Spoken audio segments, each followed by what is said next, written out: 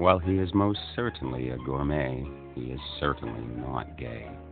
To prove how not gay he is, the Moodie champions only the manliest of edibles, serving up piles of offal, slabs of meat, and things he calls extreme eats, such as Asian pufferfish, a fish that can kill you if not prepared properly.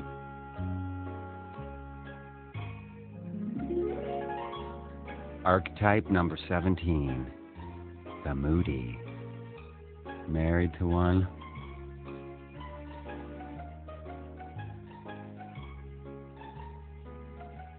Which one are you?